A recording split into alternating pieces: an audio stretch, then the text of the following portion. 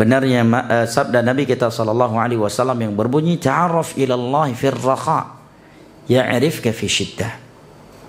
Kenalilah Allah, mendekatlah kepada Allah ketika engkau sedang kaya, sedang sehat, sedang lapang, sedang mudah.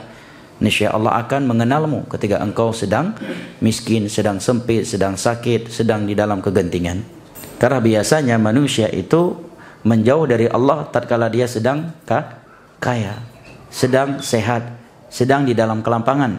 Maka Allah Jalla wa ala berfirman, "Kalla innal insana la yatagha ar-ra'ahus taghna."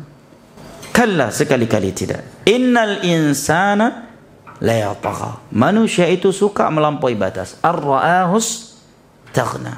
Tatkala dia melihat dirinya itu memiliki kekayaan, kelapangan, oleh karenanya Ali bin Abi Thalib radhiyallahu anhu mengatakan, "Ubtulina bidh-dharra fasabarna, wa ubtulina bis-sarra falam nasbir." Ini ucapan yang seyogyanya ditulis dengan tinta emas. Kita ini tatkala diuji dengan kekayaan, dengan uh, uh, dengan kemiskinan, kesakitan, kesempitan, seringnya kita masih bisa bersabar di atas agama Allah. Masih bisa istiqamah di atas agama Allah wa bisarra falam nasbir. Tetapi tatkala Allah menguji kita dengan kemudahan dengan kekayaan kelapangan rezeki kesehatan dan kelapangan dalam urusan-urusan dunia yang lainnya seringnya kita tidak lagi bersabar. Kita tidak lagi saleh. Kita tidak lagi istiqamah.